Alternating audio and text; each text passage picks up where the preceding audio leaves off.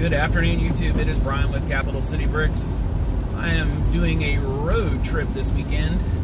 I'm actually on my way to see my parents. They don't know I'm coming, so I'm going to surprise them.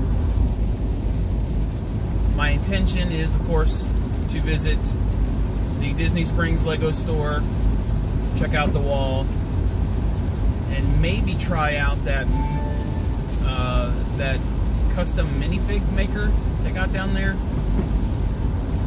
past couple times I've went, it's been really busy, so you know I just passed on it.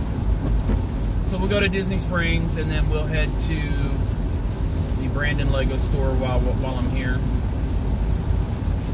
and that's pretty much it. Got nothing else going on.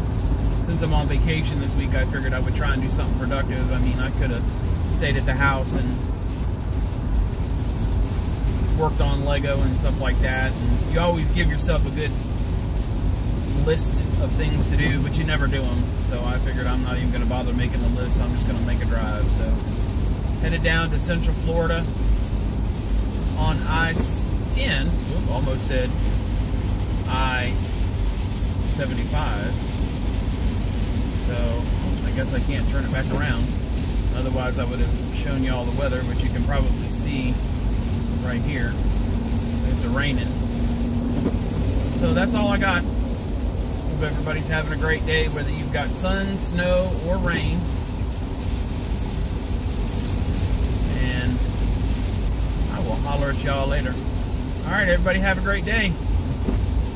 This is Brian on Interstate 10 in Jefferson County.